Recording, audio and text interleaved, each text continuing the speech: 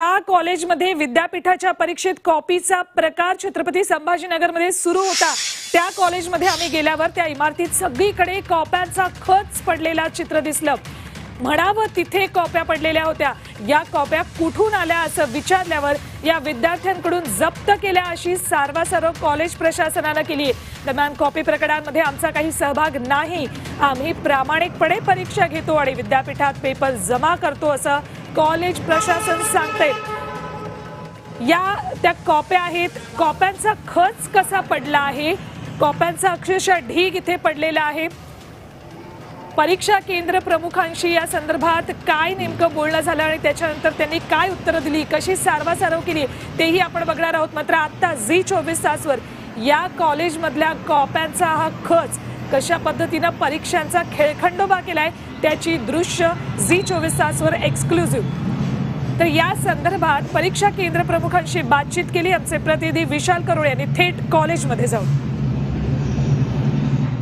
विद्यापीठाच्या परीक्षांमध्ये दळवी कॉलेजमध्ये गैरप्रकार सुरू होत असल्याचं व्हिडिओच्याद्वारे समोर आले त्या विद्यार्थ्यांनी ते खळबळजनक आरोप केले. याच कॉलेजमध्ये अशा पद्धतीने इथं ती एक्झाम सुरू होती आणि इथं विद्यार्थी पेपरच्या गठ्ठ्यामधनं पेपर स्वतः घेत होते आणि सोडवत होते. अशा पद्धतीचा आरोप आहे. अशा पद्धतीचं त्या दृश्यांमध्ये दिसतंय. त्यामुळे या सगळ्या आरोपाची शहानिशा करण्यासाठी आम्ही या कॉलेजमध्ये आलोय. मात्र कॉलेज प्रशासनानं हे सगळे आरोप फेटाळले. आमच्याकडे परीक्षा योग्य पद्धतीनंच होत असल्याचं त्यांनी सांगितलं याच क्लासरूममध्ये आपल्यासोबत या सेंटरचे परीक्षा प्रमुख केंद्र प्रमुख आहेत त्यांना विचारूया. व्हिडिओ व्हायरल झालाय त्यामध्ये तुमच्या सेंटरवर कॉपी करताना दिसत आहेत सत्य सांगा. कॉपी करतात ना नाही म्हणता येणार कारण कॉपी चालतच नाही पहिली गोष्ट. आणि याच्यामध्ये महत्वाचं म्हणजे आम्ही सर्व विद्यार्थ्यांना गेटवरच चेक करून आतमध्ये सोडतो. तर जो व्हिडिओ क्लिप व्हायरल झाली आपल्या महाविद्यालयाच्या बाबतीतली तर ती जी ते जे विद्यार्थी आहेत ते दुसऱ्या कॉलेजचे विद्यार्थी आहेत. म्हणजे तो विद्य- विद्यार्थिनी दुसऱ्या कॉलेजचे आहे आणि तो जो समोरचा व्यक्ती बोलतोय तोही दुसऱ्या कॉलेजचा आहे. म्हणजे फॉरेन्सिक कॉलेज सेंटर आहे इथलं. आणि आमच्याकडे सेंटर असल्या कारणानं आम्ही फक्त आमचे पेपर घेणं आणि याचं काम बघतो. बाकीचं आम्हाला त्या व्हिडिओ ऑडिओ क्लिपबद्दल व्हिडिओ क्लिपबद्दल काही म्हणजे हे नव्हतं. पण त्या व्हिडिओमध्ये दिसत आहे की बेंचवर इथे पेपर ठेवलेले आहे आणि त्यातनं तो विद्यार्थी स्वतःचा पेपर घेतोय ओढून घेतोय आणि तो सोडवायला जातो. नाही बरोबर आहे सर कारण पेपरचा टायमिंग साडेतीनचा होता आणि साडेतीनला पेपरचं सेशन सुटलेलं होतं. आणि ज्या विद्यार्थ्यांनी पेपर दिलेत त्यांचा गट्टा आम्ही आता समोर शिक्षक आमचे जमा करतात.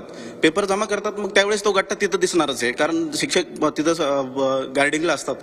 तर मग त्यांनी ते घेतले होते समजा पेपर तिथं. विद्यार्थ्यांनी असेही आरोप केलेले आहेत की अ, म्हणजे सातत्यानं पैसे मागितले जात होते आणि सातत्याने पैसे मागणी केल्या जात होतं. पैसे मागण्याचा प्रकार आमच्याकडे नाहीच आहे सर. कारण संबंधित अ, या व्हिडिओची क्लिप क्लिपची जी चौकशी आहे ती सखोल व्हायला पाहिजे.